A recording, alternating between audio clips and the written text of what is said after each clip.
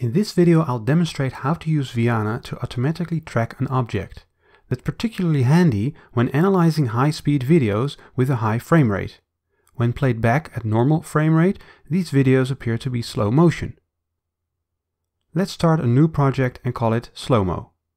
When played back in Viana, the video seems to be a normal speed video, but at the bottom you can see the frame rate is actually 120. Again, I'll crop the start and end of the video to select the region of interest.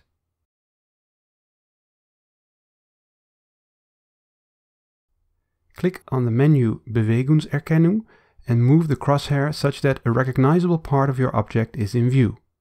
When filming, you might want to use a sticker with a color that contrasts the background. Now when you tap the screen, Viana tries to follow your object throughout the video. As you can see, Viana does a really nice job here. Only at the end, the tracking gets messed up.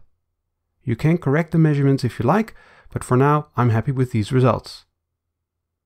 As before, we need to set the scale and position of the coordinate system.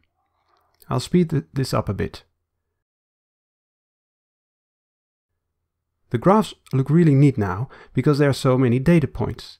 The first graph is the XY diagram showing the path of the tennis ball. Then you get the horizontal motion in the x direction. And finally the graphs for the vertical position and the velocity in the vertical direction. You can see there are some glitches here and there, and at the end the tracking didn't work out as it should. If you go back to the video, you can see what has caused the first glitch. My iPad has dropped a frame here and there. Because of this, the tennis ball appears to cover more distance in the same amount of time, so it's as if it's going faster than it's actually going. Finally, as before, you can export this data for further analysis.